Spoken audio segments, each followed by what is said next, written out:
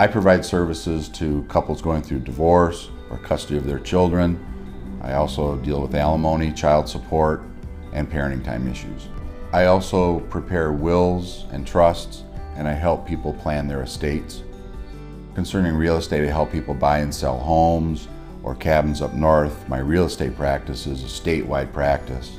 I help a lot of people sell their own homes. I help them through the whole process from the beginning where they sign a purchase agreement all the way through the closing. I think anytime anyone's having a problem with their spouse or an ex-spouse in court, they should consult with an attorney immediately to make sure that all of their rights are protected.